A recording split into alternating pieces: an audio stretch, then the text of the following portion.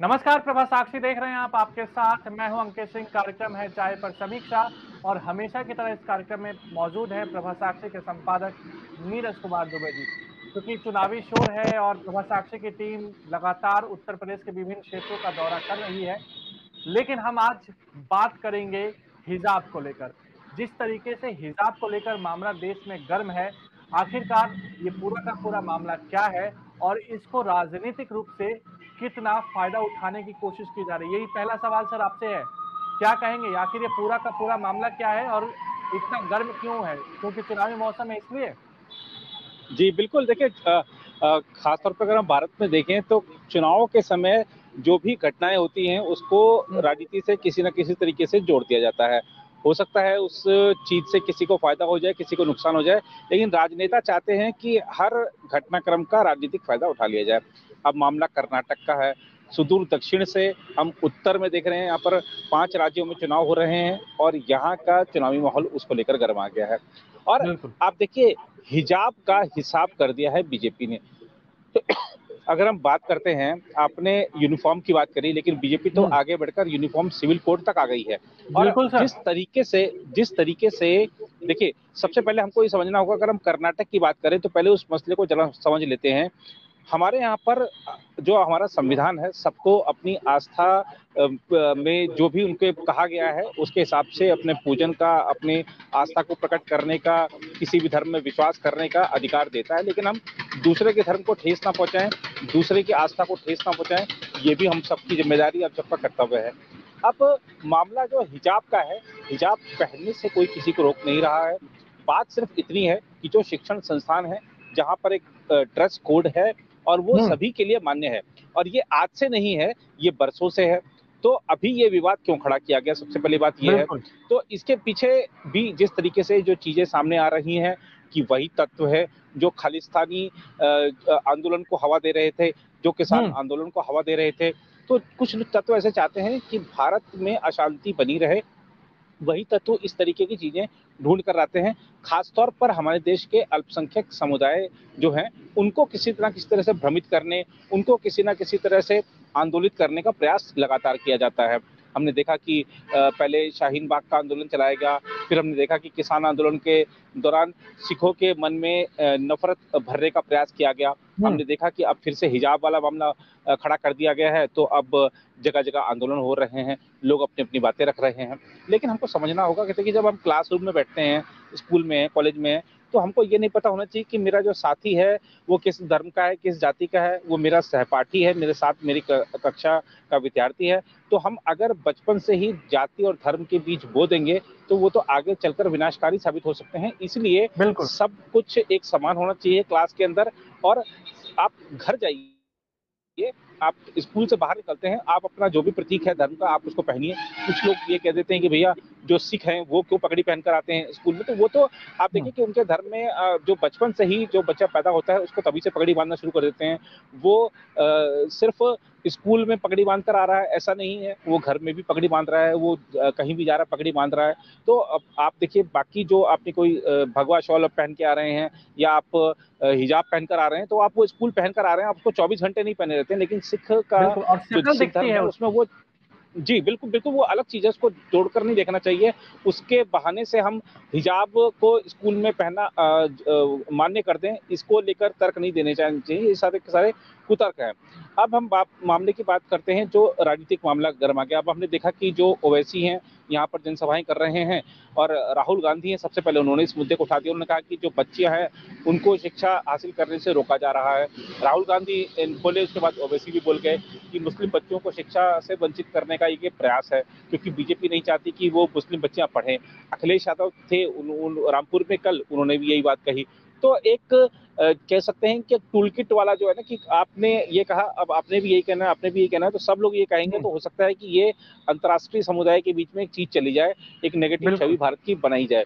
तो और आपने देखा कि किस तरीके से कुछ विदेशी तत्वों ने जिस तरीके से इस मुद्दे पर प्रतिक्रिया दी है तो ये दर्शाता है कि कहीं ना कहीं एक रणनीतिक तौर से इस मुद्दे को उभारा गया है ताकि जो पाँच प्रदेशों के चुनाव हो रहे हैं उसमें इस मुद्दे को बनाया जा सके। अब आप देखिए जो बीजेपी जो हाँ बिल्कुल अब आप देखिए कि बीजेपी ने इस मुद्दे को कैसे लिया है। जो लोग हिजाब का विवाद खड़ा कर रहे हैं, आज बहुत सोचे समझे तरीके से मैं कहूँगा कि बीजेपी ने उत्तराखंड के मुख्यमंत्री से बयान दिलाया कि अगर हम राज्य की सत्ता में वापस लौटते हैं तो हम कॉमन सिविल कोड की तरफ़ आगे बढ़ेंगे, एक ड्राफ्ट कमेटी का गठन करेंगे। जो कि ड्राफ्ट तैयार करेगी और उस पर हम गोवा के बाद ऐसा दूसरा राज्य होगा उत्तराखंड जहाँ की समान नागरिक संहिता होगी। और आप देखिए कि आप आज सोशल मीडिया पर जिसको देखो चाहे यहाँ तक कि मैं देख रहा हूँ कि बहुत सारे मुस्लिम भी हैं जो प्रधानमंत्री से मांग कर रहे हैं कि जल्द से जल्द कॉमन सिविल कोड लाया जाए क्योंकि ये समय की ज़रूरत है समय की मांग है और समान अधिकार सबके होने चाहिए कोई अल्पसंख्यक नहीं होना चाहिए कोई बहुसंख्यक नहीं होना चाहिए। जो हमारा संविधान का कानून है, संविधान में जो चीज़ें हैं, वही सब पर समान रूप से लागू होनी चाहिए। तो आप देखिए कि हिजाब विवाद को बिल्कुल एक तरह से धोखा रख दिया है। कॉमन सिविल कोर्ट के घोषणा करके उत्तराखंड के मुख्यमंत्री ने और ये ऐलान जो है अपने आप में बड़े मायने रखता है। उत्तराखंड के मुख्यमंत्री से क्यों दिलाया गया? उत्तर प्रदेश के मुख्यमंत्री से क्यों नहीं दिलाया गया बीजेपी ने? तो अब आप देखिए कि जो हम अभी हरीश रावत ने कहा कि हम वहाँ पर मुस्लिम एक विश्वविद्यालय बनाएँगे उत्तराखंड में। हम्म। तब उत्तराखंड की जनता को ये तय कर रहे हैं कि आपको मुस्लिम विश्वविद्यालय चाहिए या आपको कॉमन सिविल कोड चाहिए। तो बीजेपी ने एक तो जो वहाँ पर हिंदू और जो दूसरे वर्ग हैं खासतौर पर ध्रुवीकरण का उत्तराखंड में प्रयास तो हम इसको कहेंगे ही लेकिन उत्तर प्रदेश में जो दूसरे चरण का चुनाव है अंकित जी उसमें हाँ। अधिकांश सीटें मुस्लिम बहुल हैं। और मुस्लिम बहुल हैं तो वहाँ भी ध्रुवीकरण एक तरह से हो जाएगा इस बयान के बाद क्योंकि तो लोगों को लगता है कि अगर उत्तराखंड में आ सकता है तो उत्तर प्रदेश में भी आ सकता है क्योंकि जिस तरह से कड़े और बड़े फैसले लेने में योगी सरकार नहीं हिचकी है तो हो सकता है कि उत्तर प्रदेश में भी कॉमन सिविल कोड आ जाए। तो जो दूसरे चरण का चुनाव है मैं उसको देख रहा हूँ कि उस को भी एक संदेश दिया गया है वहाँ के मतदाताओं को भी क्योंकि आपने देखा कि ऐसी बहुत सारी मुस्लिम बहुल सीटें हैं जहाँ पर साफ़ तौर पे धर्म के आधार पर विभाजन दिख रहा है कि जो मुस्लिम वर्ग है वो समाजवादी पार्टी गठबंधन के साथ है जो हिंदू समाज है वो बीजेपी या अन्य दलों के साथ है तो वो अन्य दलों के साथ ना जाकर बीजेपी के साथ ही पूरी तरीके से आ जाए इस तरीके का एक प्रयास है मुझे लगता है इस ऐलान के साथ ही तो ये उत्तराखंड के लिए ही नहीं है ये उत्तर प्रदेश में भी दूसरे चरण में जो चुनाव में पश्चिम में जो सीटों पर मतदान होने जा रहा है जहाँ पर अधिकांश सीटें अगर देवबंद की बात कर लीजिए, रामपुर की बात कर लीजिए, बिजनौर की बात कर लीजिए, जो मुस्लिम बहुल इलाके हैं, वहाँ पर ये सहारनपुर में भी बहुत ज़्यादा मुस्लिम है। तो ये, उनको भी एक संदेश है और देखना होगा कि अब ये ध्रुवीकरण हो पाता है या नहीं। लेकिन जो एक चर्चा चली थी, जो लोग हिजाब हिजाब कर रहे थे कि नहीं, हमको हिजाब का अधिकार चाहिए, स्कूल में भी हमको अधिकार चाहिए तो ये बीजेपी ने एक ऐसा दांव खेला है, जो शायद विपक्ष को चारों खाने चित कर जाए। हाँ बिल्कुल। अब देखते दिलचस्प ये भी होगा कि ये हिजाब का मामला किसके लिए अच्छा हिसाब लेकर 10 मार्च को आता है? जी जी जी। तो आ, सर आज के चुनावी कार्यक्रम में यूपी का माहौल क्या है ये भी बता ही दीजिए क्योंकि आप ऑन ग्राउंड हैं। जी देखिए अगर मैं यूपी के चुनाव कार्यक्रम की बताऊँ तो आपको अलग अलग सीटों पर अलग अलग समीकरण है। कहीं त्रिकोणीय लड़ाई है कहीं चार कोणीय मुकाबला है कहीं दो लोगों के बीच में ही मुख्य मुकाबला है। लेकिन अब वहाँ पर बहुत कुछ इस पर भी निर्भर करता है कि उस क्षेत्र के लिए क्या घोषणाएँ की जा रही हैं। सभी पार्टियाँ अपने संकल्प पत्र वचन पत्र घोषणा पत्र ला चुकी हैं। जनता के सामने सब कुछ है।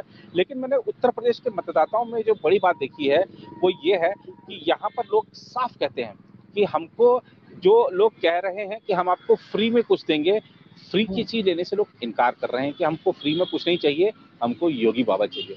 तो मुख्यमंत्री योगी आदित्यनाथ की जो लोकप्रियता है हम दिल्ली में बैठकर कल्पना नहीं कर सकते थे अंकित जी कि इतने लोकप्रिय होंगे योगी आदित्यनाथ। हद है लोकप्रियता की। हम गाँव में जाते हैं जो सामान्य बुज़ुर्ग महिलाएँ हैं जो हम्म। सामान्य बच्चियाँ हैं जो युवक हैं गाँव में लोग ट्विटर पर कह देते हैं, भारत में बेरोजगारी है, भारत में महँगाई है, भारत में जो खासतौर पर उत्तर प्रदेश में अपराध है, उत्तर प्रदेश में ये चल रहा है, वो चल रहा है, लेकिन आप उत्तर प्रदेश आकर देखिए। सिर्फ़ जो रैली में लोग आए हैं, उनसे बात मत करिए। आप गाँव में जाइए, खेतों में काम कर रहे लोगों से पूछिए। आपको पता लगेगा, किसान नाराज़ नहीं है, मतदाता नाराज़ नहीं है। जो लोग कह रहे हैं कि परिवर्तन होने जा रहा है, मुझे उनकी इस बात में थोड़ा सा लगता है कि शायद वो गलत है, क्योंकि एक बार वो आकर देखें तो उनका भी मत बदल जाएगा कि लोग क्या कह रहे हैं। सोशल मीडिया पर तमाम तरह के वीडियो वायरल होते हैं बहुत सारी चीज़ें होती हैं। हम उसके आधार पर अंदाज़ा लगा लेते हैं कि बीजेपी प्रत्याशियों को घुसने नहीं दिया जा रहा है पश्चिम से बीजेपी बढ़ रही है ये है वो है। लेकिन मैंने एक चीज़ नोट करी है जो सबसे बड़ी है वो ये है कि बीजेपी प्रत्याशियों के खिलाफ नाराज़गी है स्वाभाविक तौर पर नाराज़गी है और खासतौर पे जिन कैंडिडेट्स को रिपीट किया गया है जो एमएलए को रिपीट किया गया है उनके हम्म। खिलाफ भी नाराज़गी देखने को मिली। लेकिन लोग कह रहे हैं कि हम इस कैंडिडेट को सह लेंगे लेकिन मुख्यमंत्री के तौर पर योगी आदित्यनाथ को लाएँगे क्योंकि उनका कहना है कि चाहे राशन की बात हो आप देखिए कि जो फ्री हम्म। राशन की स्कीम है जो फ्री राशन लोगों को दो बार मिल रहा है वो तो एक कह रहे हैं कि बिल्कुल करंट की तरह दौड़ रहा है यहाँ पर लोगों की रगों में कि, और लोग ये कह रहे हैं क्योंकि उस राशन के साथ नमक भी मिल रहा है। बहुत से लोगों ने कहा कि हम तो योगी का नमक खा रहे हैं तो कैसे नमक हरामी कर देंगे? ये शब्द तक यूज़ किए लोगों ने। एक महिला ने मुझसे बातचीत में कहा कि, अगर मेरे पापा भी चुनाव में खड़े हो जाए तो मैं उनकी जगह योगी जी को वोट दूँगी।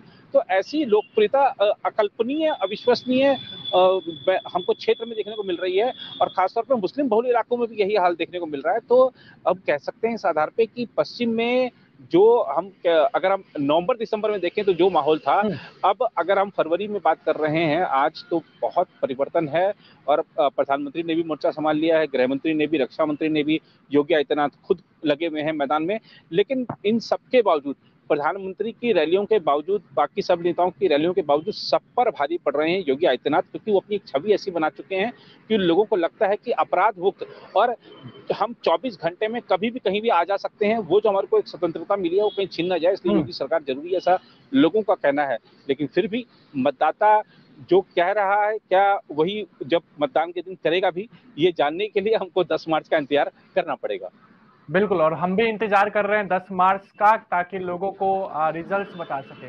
लेकिन आज चाय पर समीक्षा कार्यक्रम में इतना ही। सर आप बाहर से जुड़े और बड़ी मुश्किल परिस्थितियाँ होती है ऑन ग्राउंड से आपको रिपोर्ट बताना। तो बहुत बहुत शुक्रिया सर। फिर आपसे मुलाकात होगी। तब तक के लिए मुझे यानी अंकित को मैं प्रभा साक्षी के संपादक नीरज कुमार दुबे को दीजिए इजाज़त। नमस्कार। नमस्कार। अगर आप भी लेना चाहते हैं देश दुनिया की तमाम जानकारी तो आज ही सब्सक्राइब करें हमारे चैनल को।